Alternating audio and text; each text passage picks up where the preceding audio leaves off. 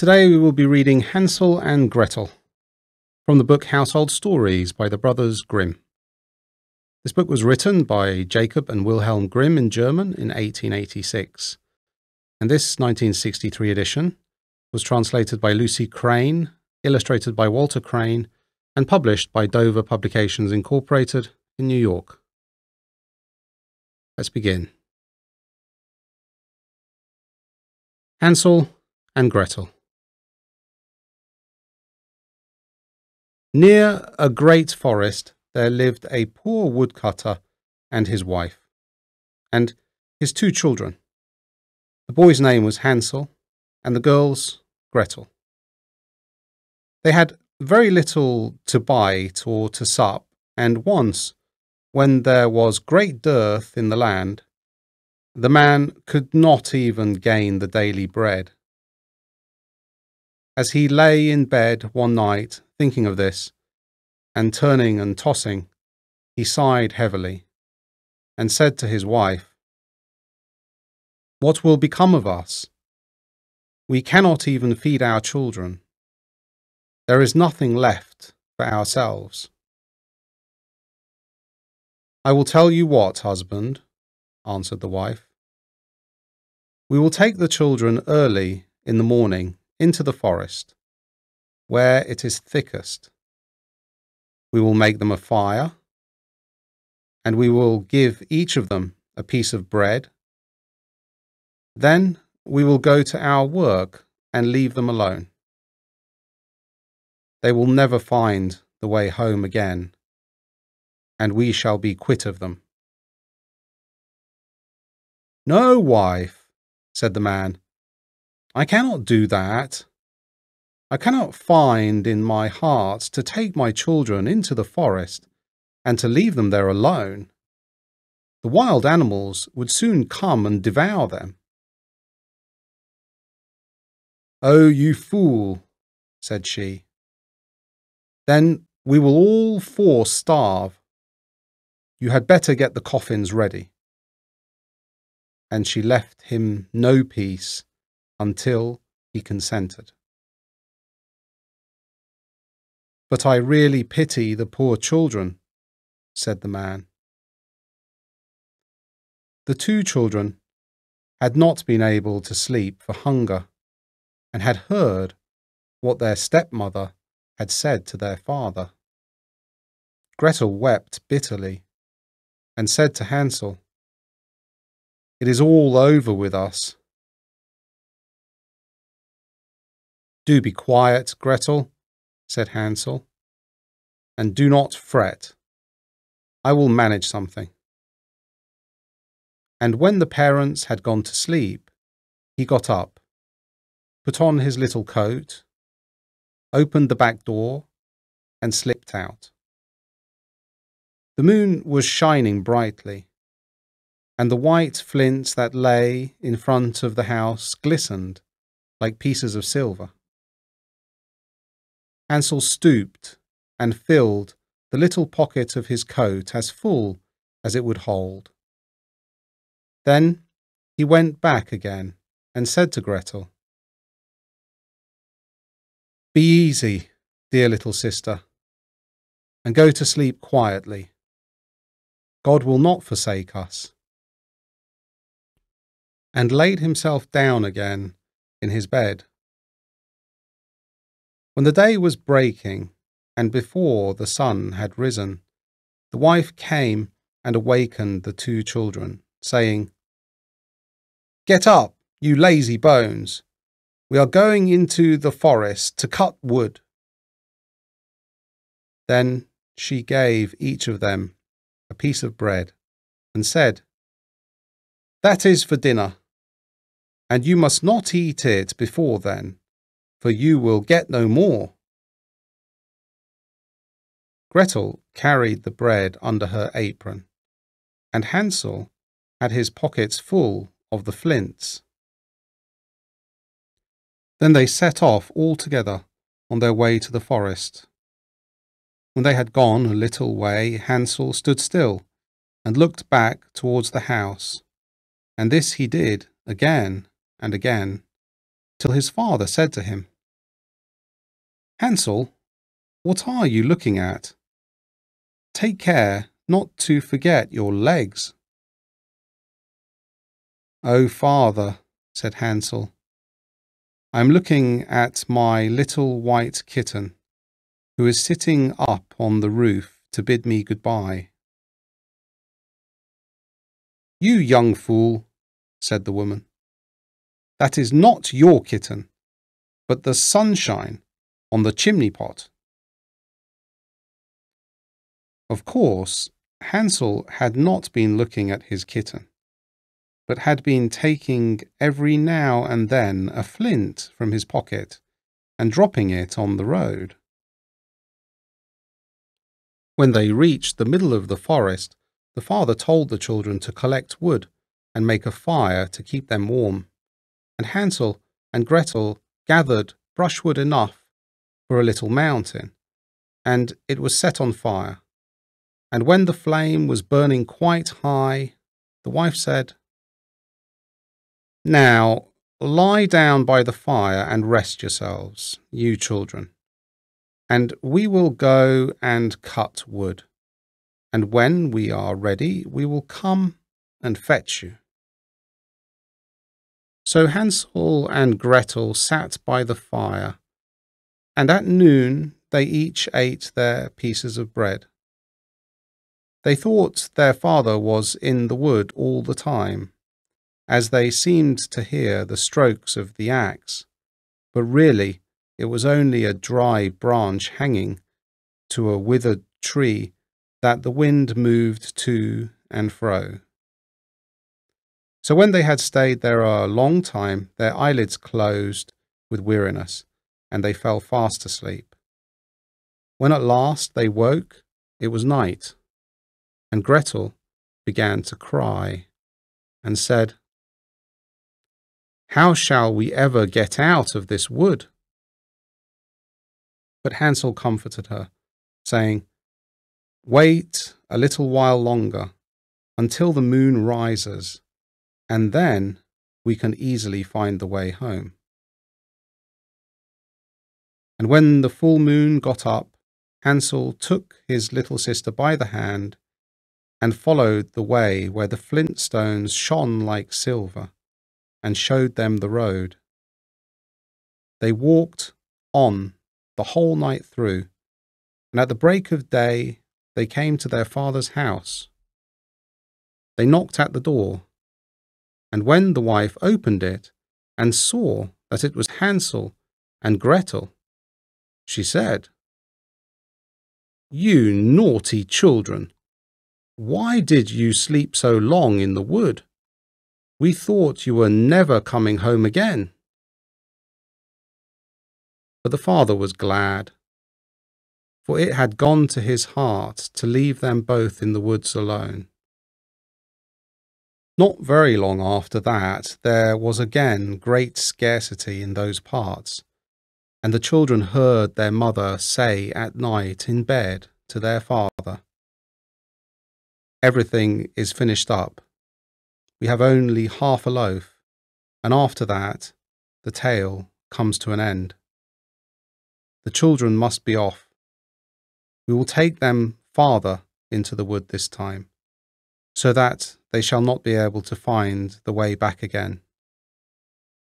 There is no other way to manage. The man felt sad at heart, and he thought, it would better to share one's last mortal with one's children. But the wife would listen to nothing that he said, but scolded and reproached him. He who says A must say B too, and when a man has given it once, he has to do it a second time. But the children were not asleep, and had heard all the talk. When the parents had gone to sleep, Hansel got up to go out and get more flint stones, as he did before. But the wife had locked the door, and Hansel could not get out. But he comforted his little sister and said, Don't cry, Gretel, and go to sleep quietly, and God will help us. Early the next morning, the wife came and pulled the children out of bed. She gave them each a little piece of bread, less than before, and on the way to the wood Hansel crumbled the bread in his pocket and often stopped to throw a crumb on the ground. Hansel, what are you stopping behind and staring for? said the father. I am looking at my little pigeon sitting on the roof to say good-bye to me, answered Hansel.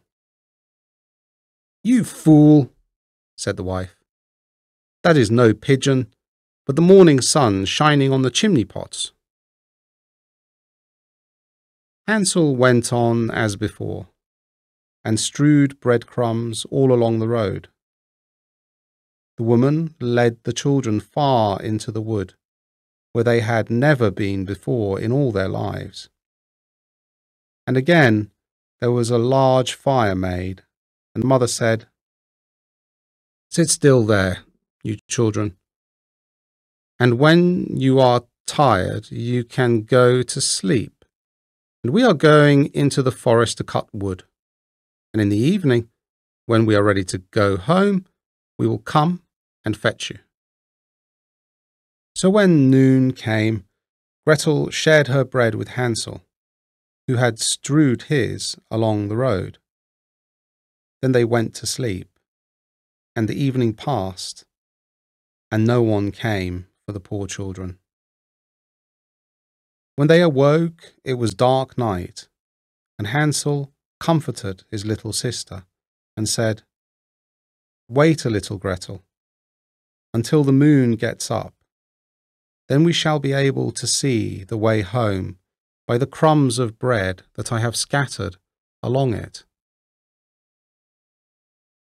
So when the moon rose, they got up, but they could find no crumbs of bread. For the birds of the woods and of the fields had come and picked them up Hansel thought they might find the way all the same, but they could not. They went on all that night, and the next day, from the morning until the evening, but they could not find the way out of the wood, and they were very hungry. For they had nothing to eat but the few berries they could pick up. And when they were so tired that they could no longer drag themselves along, they lay down under a tree and fell asleep. It was now the third morning since they had left their father's house. They were always trying to get back to it, but instead of that, they only found themselves farther in the wood. And if help had not soon come, they would have been starved. About noon, they saw a pretty snow white bird sitting on a bough and singing so sweetly that they stopped to listen. And when he had finished, the bird spread his wings and flew before them, and they followed after him until they came to a little house. And the bird perched on the roof and when they came nearer, they saw that the house was built of bread and roofed with cakes, and the window was of transparent sugar. We will have some of this, said Hansel, and make a fine meal. I will eat a piece of the roof, Gretel, and you can have some of the window. That will taste sweet.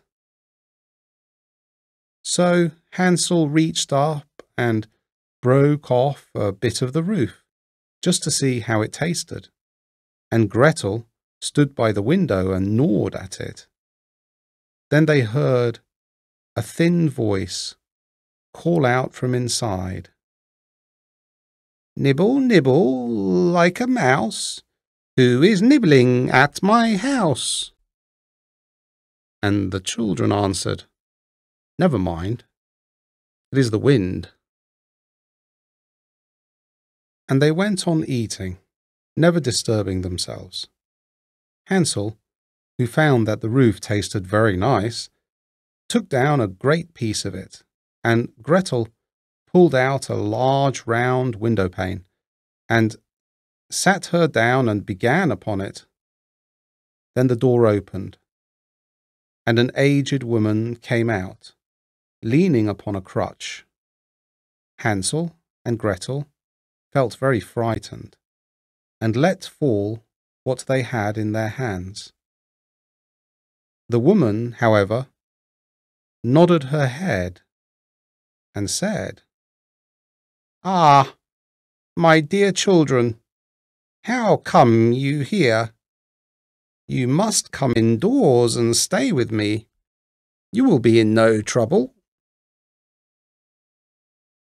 So she took them each by the hand and led them into her little house, and there they found a good meal laid out of milk and pancakes, with sugar, apples, and nuts. After that, she showed them two little white beds, and Hansel and Gretel laid themselves down on them and thought they were in heaven. The old woman, although her behaviour was so kind, was a wicked witch who lay in wait for children and had built the little house on purpose to entice them. When they were once inside, she used to kill them, cook them, and eat them, and then it was a feast day with her. The witch's eyes were red, and she could not see very far, but she had a keen scent, like the beasts, and knew very well when human creatures were near. When she knew that Hansel and Gretel were coming, she gave a spiteful laugh and said triumphantly, I have them, and they shall not escape me. Early in the morning, before the children were awake, she got up to look at them. And as they lay sleeping so peacefully with round, rosy cheeks, she said to herself, What a fine feast I shall have! Then she grasped Hansel with her withered hand and led him into a little stable and shut him up behind a grating. And call and scream as he might, it was no good. Then she went back for Gretel and shook her, crying, Get up, lazy bones, fetch the water, and cook something nice for your brother. He is outside in the stable and must be fattened up, and when he is fat enough, I will eat him. Gretel began to weep bitterly. But it was of no use. She had to do what the wicked witch bade her. And so the best kind of victuals was cooked for poor Hansel, while Gretel got nothing but crab shells. Each morning, the old woman visited the little stable and cried, Hansel, stretch out your little finger that I may tell if you will soon be fat enough. Hansel, however, used to hold out a little bone, and the old woman, who had weak eyes, could not see what it was, and supposing it to be Hansel's finger, wondered very much that it was not getting fatter. When four weeks had passed, and Hansel seemed to remain so thin, she lost patience and could wait no longer. Now then, Gretel, cried she to the little girl, be quick and draw water. Be Hansel fat, or be he lean, tomorrow I must kill and cook him. Oh, what a grief for the poor little sister to have to fetch water, and how the tears flowed down over her cheeks. Dear God, pray help us, cried she. If we had been devoured by wild beasts in the wood, at least we should have died together. Spare me your lamentations, cried the old woman. They are of no avail. Early next morning, Gretel had to get up, make the fire, and fill the kettle. First, we will do the baking, said the old woman. I have heated the oven already and kneaded the dough. She pushed poor Gretel towards the oven, out of which the flames were already shining. Creep in, said the witch, and see if it is properly hot, so that the bread may be baked. And Gretel, once in, she meant to shut the door upon her and let her be baked, and then she would have eaten her. But Gretel perceived her intention and said, I don't know how to do it. How shall I get in? Stupid goose, said the old woman. The opening is big enough. Do you see? I could get in myself. And she stooped down and put her head in the oven's mouth. Then Gretel gave her a push, so that she went in farther, and she shut the iron door upon her, and put up the bar. Oh, how frightfully she howled! But Gretel ran away, and left the wicked witch to burn miserably. Gretel went straight to Hansel, opened the stable door, and cried, Hansel, we are free! The old witch is dead! Then out flew Hansel, like a bird from its cage, as soon as the door is opened. How rejoiced they both were! How they fell each on the other's neck, and danced about, and kissed each other. And as they had nothing more to fear, they went over all the old witch's house, and in every corner there stood chests of pearls and precious stones. This is something better than flintstones, said Hansel, as he filled his pockets. And Gretel, thinking she also would like to carry something home with her, filled her apron full. Now away we go, said Hansel.